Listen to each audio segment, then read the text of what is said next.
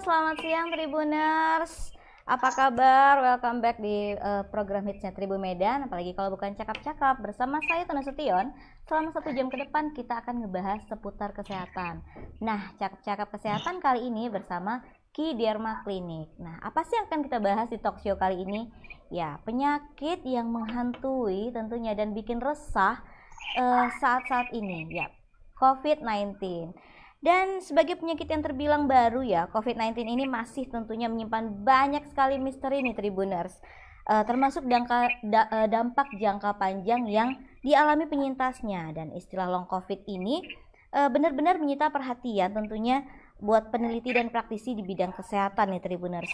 Lantas apa sih sebenarnya dimaksud dengan gejala uh, long COVID dan katanya long COVID itu banyak menimbulkan gejala uh, buat ses seseorang apalagi sembuh dari COVID-19 dan hal ini yang juga mungkin akan menimbulkan kekhawatiran bagi orang yang sudah pernah terkena COVID. Bingung kan ya, apa aja gejala jangka panjangnya dan apa gimana sih cara mengatasinya dengan tepat gitu, treatment apa sih ya kan. Nah, di sini kita akan bahas lebih mendalam lagi dengan uh, yang namanya long covid dan apa aja treatment yang tepat untuk mengatasinya. Jadi buat kamu nih Tribuners uh, wajib stay tune dan mengikuti acara live ini sampai selesai karena akan banyak tentunya info menarik dan edukasi-edukasi yang sangat bermanfaat dan bernilai buat kalian yang akan disampaikan tentunya oleh dokter yang berkompeten di bidangnya. Dan ada satu hal lagi yang gak kalah penting nih buat kalian nih Tribuners karena uh, kalian harus ikuti acara live ini sampai selesai karena akan ada giveaway buat dua pertanyaan menarik yang akan kita bacakan dan akan kita apresiasi dengan uh, menghadiahkan free ozone treatment dari Kidarma Clinic. Excited dong ya kan sudah dapat info yang uh, worth it, dapat hadiah lagi, apalagi itu uh, bermanfaat buat kesehatan kita. Tapi sebelum kita mulai berbincang-bincang dengan narasumber kita yaitu Dr. Rudi Chandra, SPKK, dokter spesialis dermatologi dan venerologi ya kan, kita tonton dulu cuplikan video ini. Happy watching.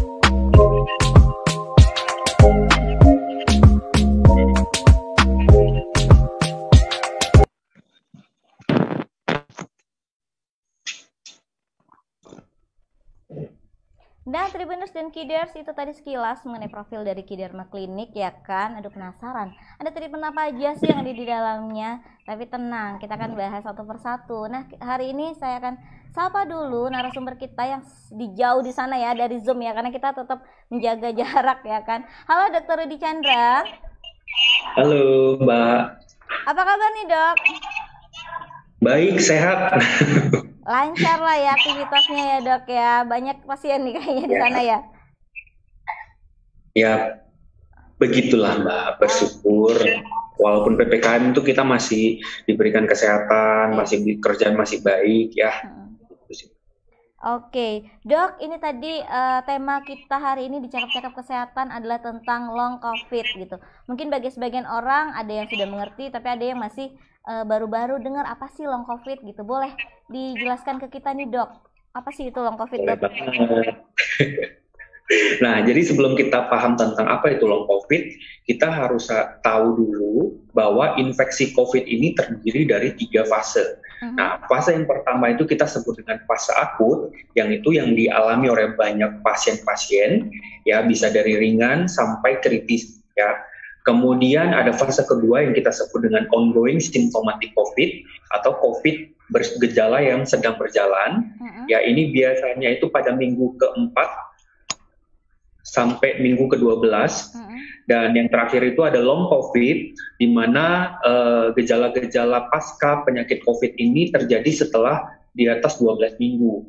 Nah, rata-rata pasien itu yang mengalami long COVID ini sudah negatif daripada pemeriksaan laboratorium, tetapi masih memiliki beberapa gejala hmm. uh, yang terus-menerus terjadi selama berminggu-minggu bahkan berbulan-bulan. Gitu. Oke. Nah, uh, menarik nih dok. Gejala-gejalanya apa aja nih dok? Kadang-kadang kan kalau uh, kita nggak tahu, kita pikir itu ya hal-hal biasa gitu kan ya. Kira-kira gejala spesifik dari long covid ini apa nih dokter Rudi? Nah, paling umum itu banyak pasien mengeluhkan keluhan kecapean ya atau kelelahan. Kemudian napasnya jadi pendek. Kemudian juga sering sakit kepala atau nyeri-nyeri, nyeri otot, nyeri sendi, hmm. dan uh, beberapa juga memiliki keluhan-keluhan lainnya gitu. Oh, yang yang langsung dapat bisa kita deteksi ya kalau bahwasanya kita sering capek, nyeri sendi segala macam, apalagi kita uh, alumni atau penyintas, bahwasanya itu berarti yeah. benar adalah gejala dari long covid gitu. Iya. Gitu ya dok ya. Tapi kalau efek hmm. efek sendiri dari long covid itu apa nih dok untuk ke depannya dok? Kalau kita kan nggak sadar nih terus nggak kita obatin, uh, apa nih efek lanjutannya dok? Nah, long COVID ini sebenarnya sangat mengganggu kualitas hidup seorang pasien. Ya, kenapa saya bilang kualitas hidup?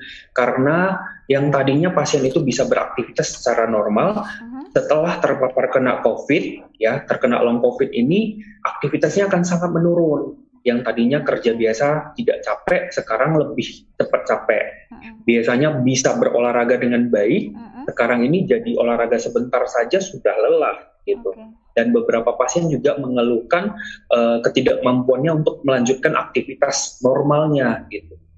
Oh, gitu. Jadi dampaknya ini sangat uh, kena itu ke kualitas hidup seorang pasien. Berarti kualitas hidup menurun ya. Selama ini kualitas hidup kita biasa-biasa iya. ini down makin kacau. Tapi dok, kalau kalau kita setelah kena COVID kan eh, itu uh, menyerang paru-paru kan gitu ya dok ya.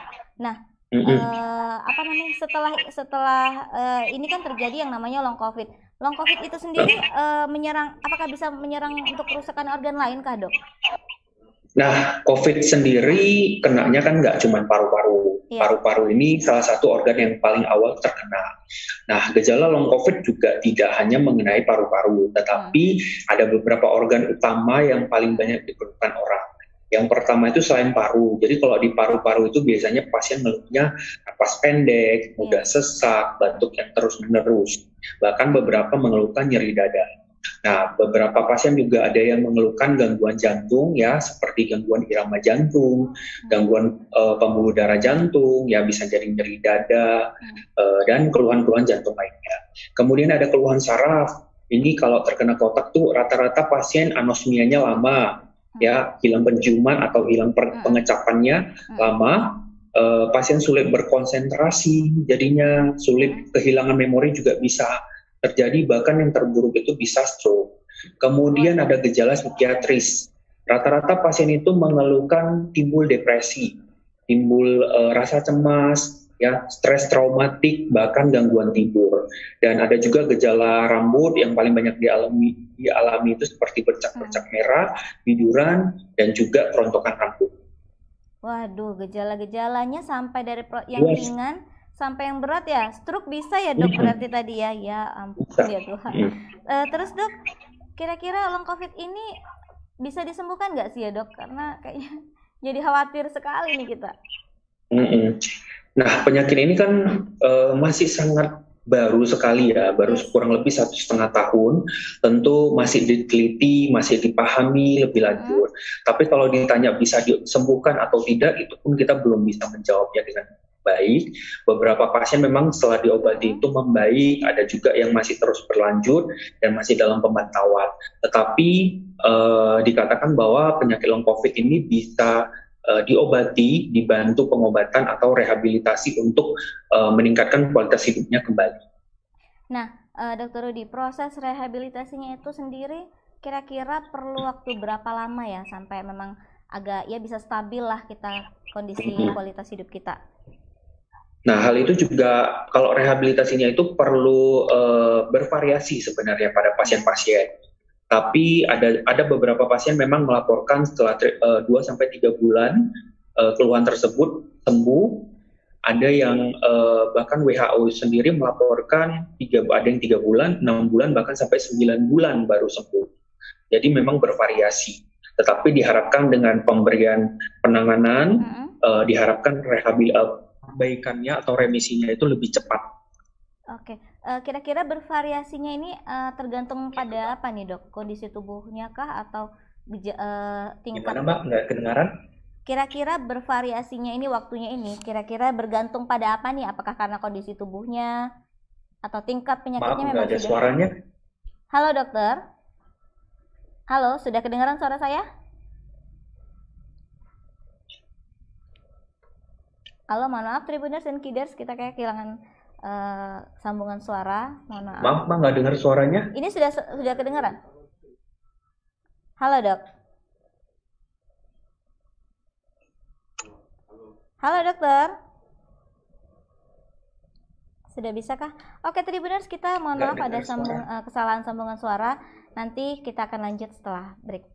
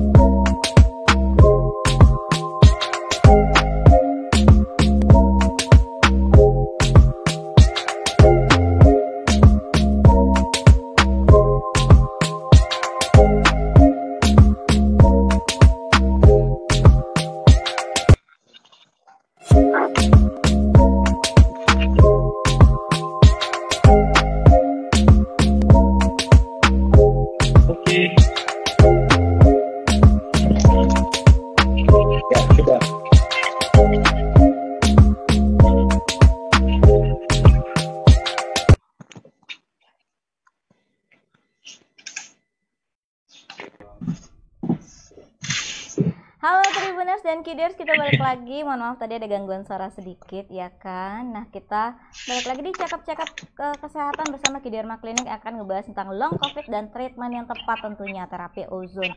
Nah, uh, Dokter Rudi, kita menyambung percakapan yang tadi. Uh, tadi kan Dokter ya. Rudi bilang bahwasanya uh, untuk penyembuhan dari long covid ini bervariasi gitu ya.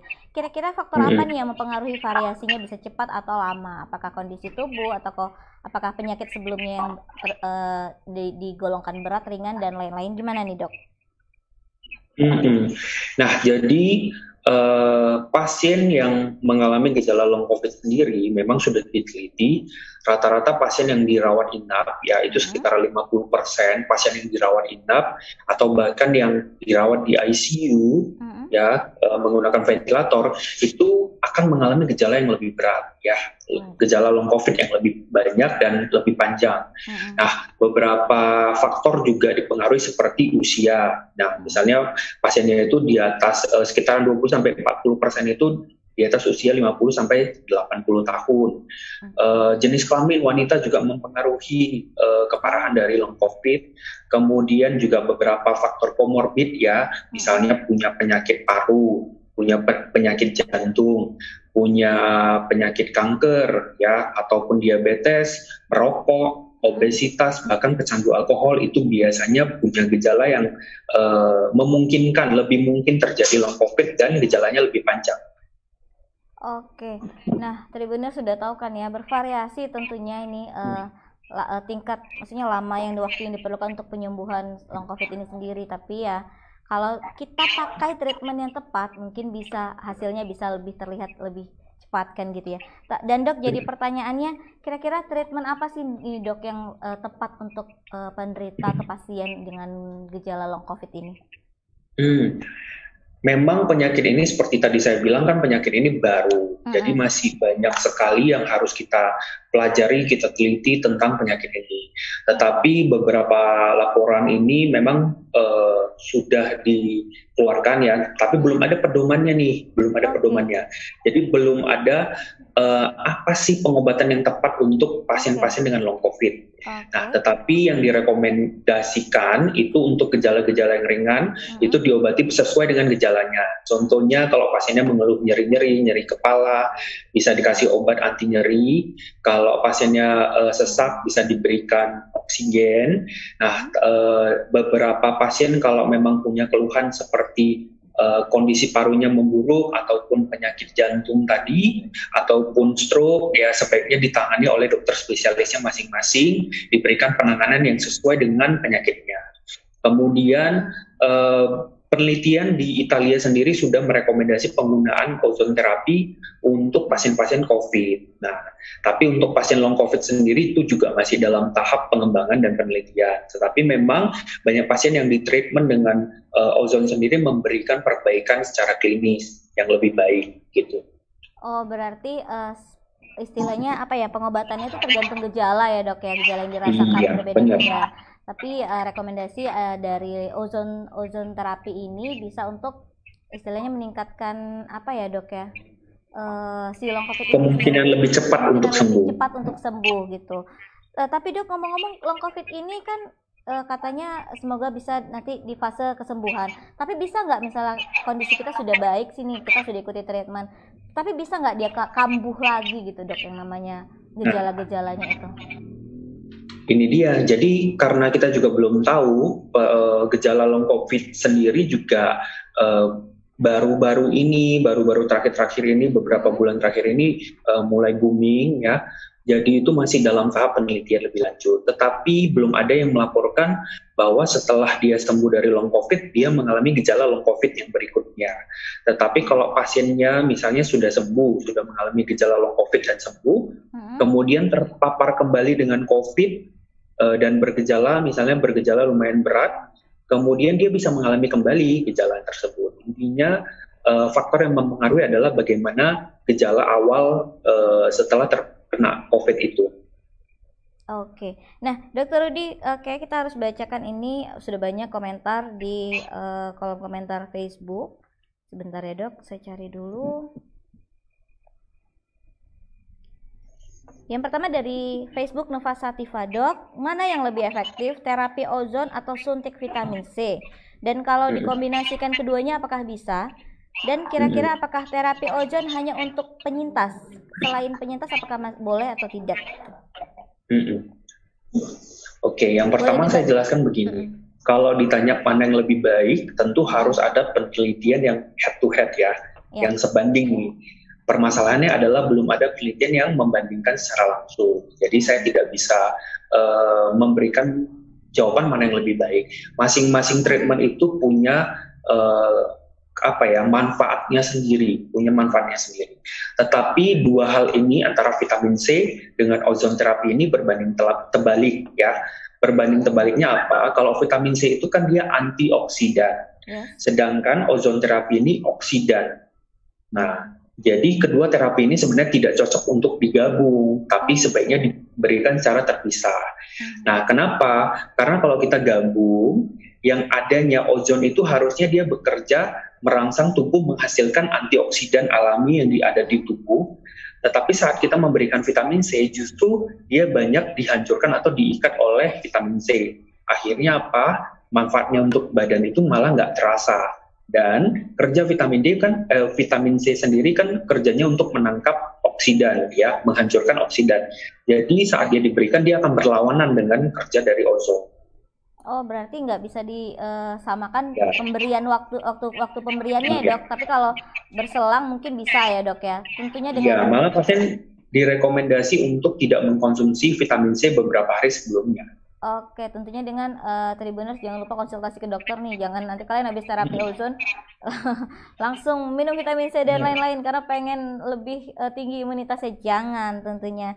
Ya, uh, dokter terkait tadi treatment da, untuk long covid itu ozon terapi. Tentunya itu ada ya dok ya salah satu treatment di Kiderma Klinik kan ya dok ya. Iya. Tapi tri eh, sebelumnya Tribuners uh, pengen tahu nih dok tentang profil dari Kiderma Klinik. Kira-kira treatment apa aja sih yang ada di Kiderma Klinik ini dok? Ah, Kiderma sendiri sebenarnya klinik uh, estetik dan hmm. wellness ya artinya hmm. tidak cuma kecantikan tapi untuk kesehatan juga hmm. uh, di mana uh, yang di Medan sendiri merupakan cabang dari Jakarta dan sudah beroperasi kurang lebih enam bulan di Medan. Nah klinik ini lengkap ya kita punya perawatan dari eh, nggak uh, cuma kecantikannya tapi kita punya dokter gigi, kita punya fisioterapi, uh, dan kita punya banyak pilihan treatment untuk kesehatan ya. Jadi nggak cuma ozon aja, tetapi ada banyak treatment lainnya. Oke, nah Tribuners dan Kiders nggak hanya untuk kecantikan, tapi untuk kesehatan. Nah, komplit nih di Kiderma Klinik ya kan. Nanti mau tahu iya. lebih dalam lagi, uh, klik aja Instagram atau Facebooknya ya kan dok ya. Benar. Nah, dok balik lagi kita ke long covid dan terapi ozon ya gini. Kira-kira dok gimana sih dok bisa nggak dijelaskan sih untuk uh, secara awam gini ya cara kerja atau tindakan terapi ozone treatment ini uh, dalam penyembuhan long covid maksudnya apa sih yang dilakukan si uh, ozone treatment ini ke tubuh kita gitu? Oh iya oke. Okay. jadi ya kita harus tahu ozon sendiri sebenarnya uh, oksidan yang kuat ya yang kuat. Oksidan ini sebenarnya uh, merangsak yang pertama dia ini kalau di alam itu bentuknya tidak stabil. Tetapi kalau yang sudah di ozon yang dihasilkan di alat itu uh, ozon yang lebih stabil. Jadi saat dia ada di darah, dia akan lebih cepat dilepaskan menjadi oksigen ke jaringan.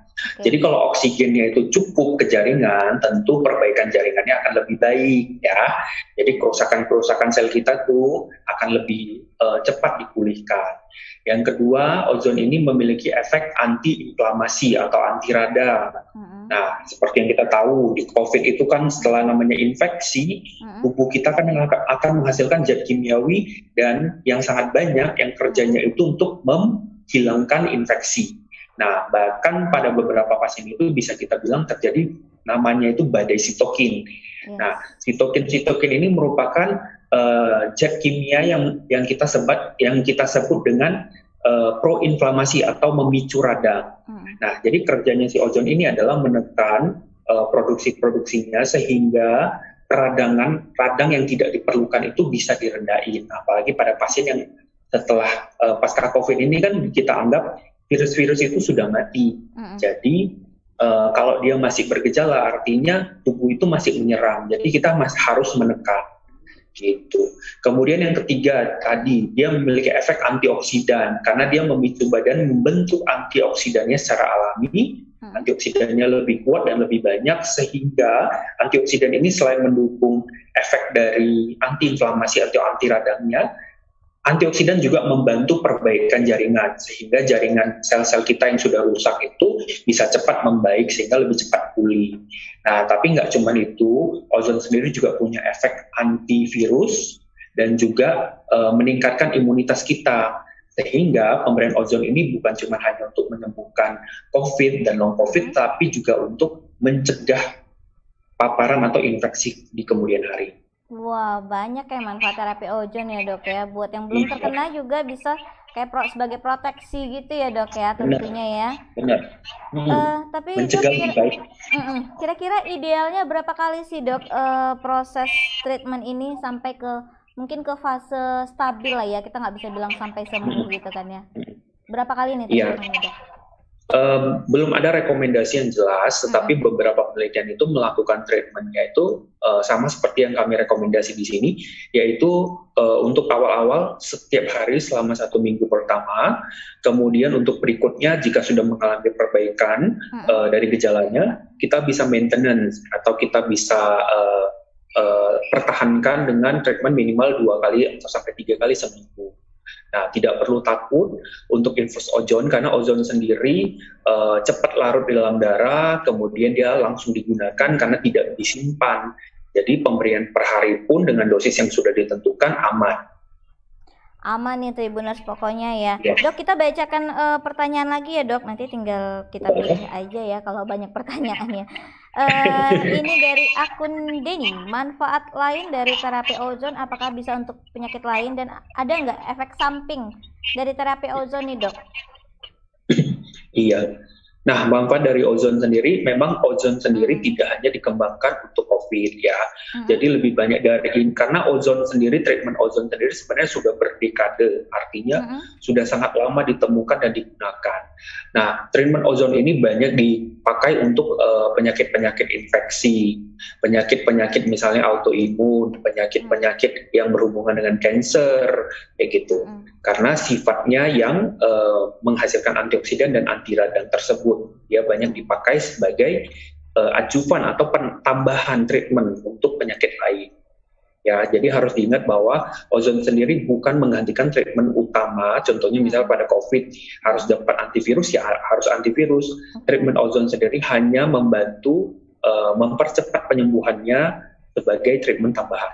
Oke, selain Nah, kalau untuk oh, efek samping tadi ya, saya lupa. Efek nah, efek samping ozon sendiri bisa dikatakan tidak ada efek samping sama sekali jika diberikan secara intravena atau diinfus ataupun diberikan melalui darah.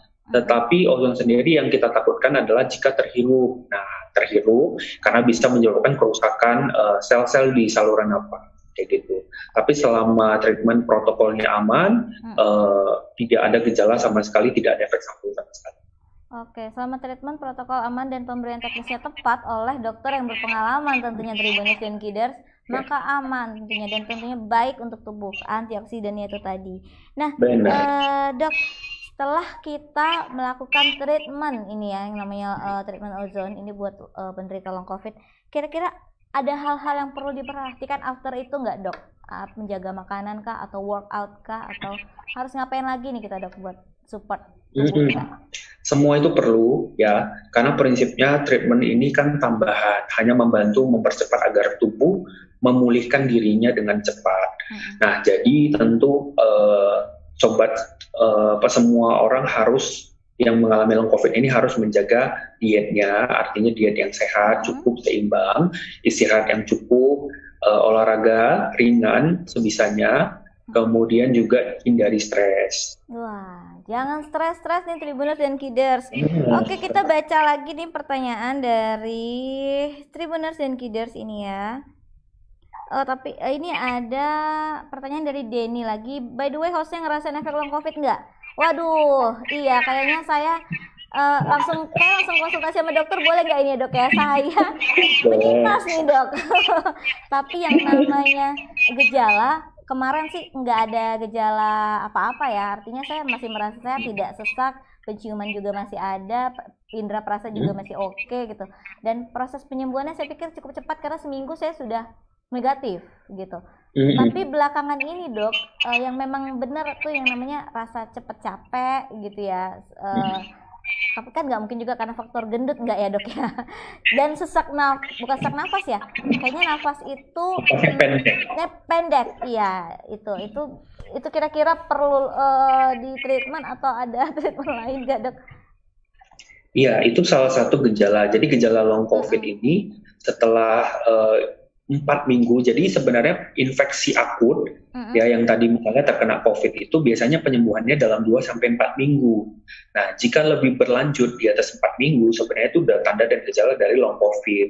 Nah, salah satunya memang ya itu yang tadi saya sudah jelaskan ya kayak kelemahan, napasnya jadi pendek, hmm. atau ada gangguan-gangguan lainnya. Itu termasuk dalam gejala. Nah, kalau memang gejalanya sangat mengganggu dan uh, apa ya sulit, cukup lama, uh, sebaiknya dilakukan treatment sih untuk mempercepat penyembuhannya.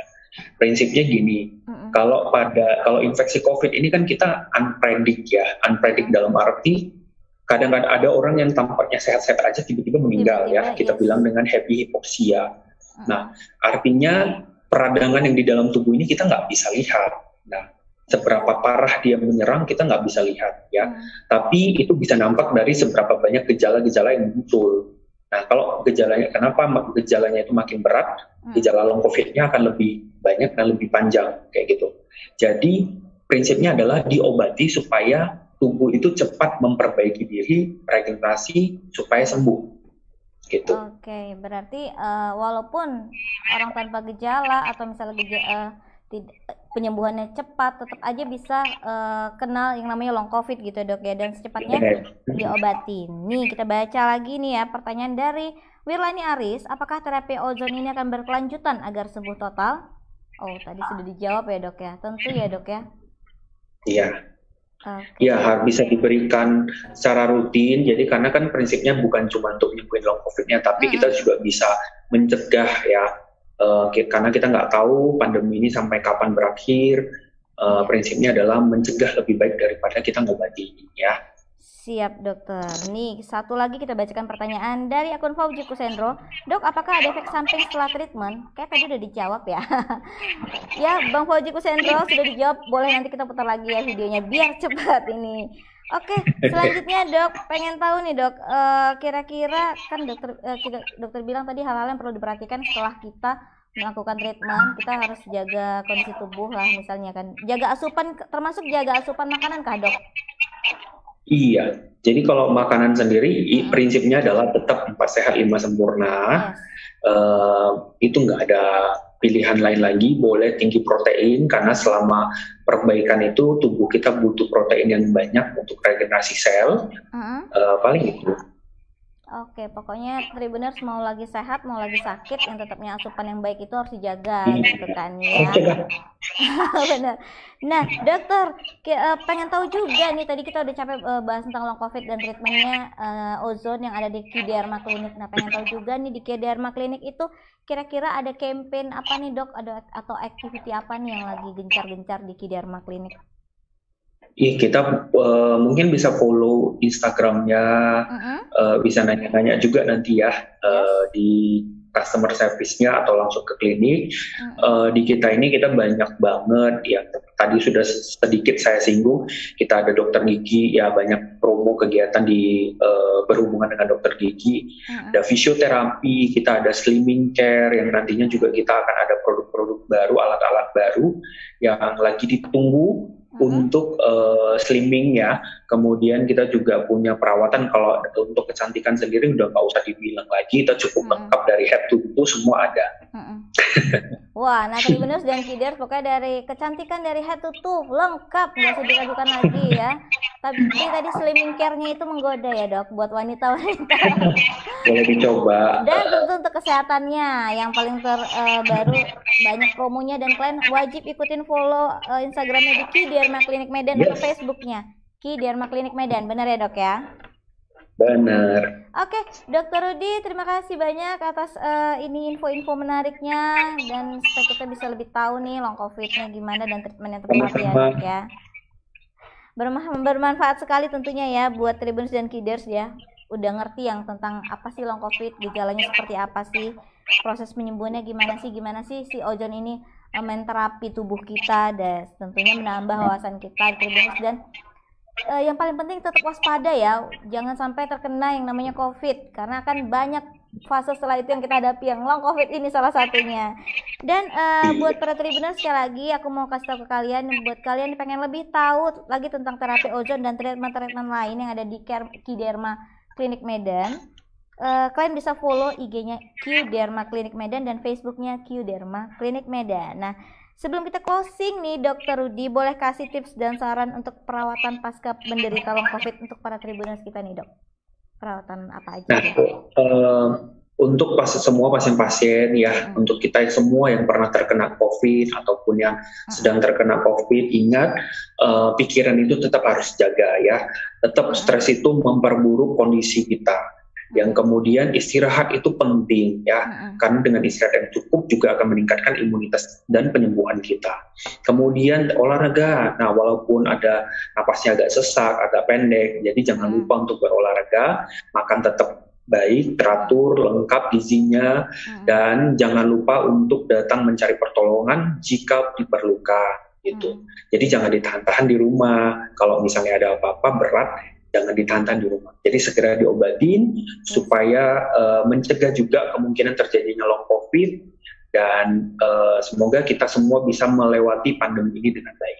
Amin. Thank you Dr. Rudi untuk sharing bermanfaatnya hari ini. Ya, semoga kita tercerahkan ya dengan info-info yang dikasih Dr. Rudi tadi. Terima kasih. Salam sehat Dr. Rudi. Ya, salam sehat. Nah, Tribuners, uh, finally udah selesai nih kita sharing kita di cakap-cakap sehat bersama Q Derma Clinic. Semoga kalian bisa mengambil manfaat yang banyak dari acara ini ya. Sekian dulu untuk uh, acara kita kali ini. Jangan sampai ketinggalan untuk cakap-cakap episode selanjutnya di Tribun Medan. Saya Tono Sution, kita pamit undur diri, tapi sebelumnya aku mau kasih tahu ke kalian ini. Harta sejati adalah kesehatan, bukan emas dan perak Mahatma Gandhi. Oke, saya Tuna Setian bersama kru yang bertugas kita pamit undur diri. Selamat siang.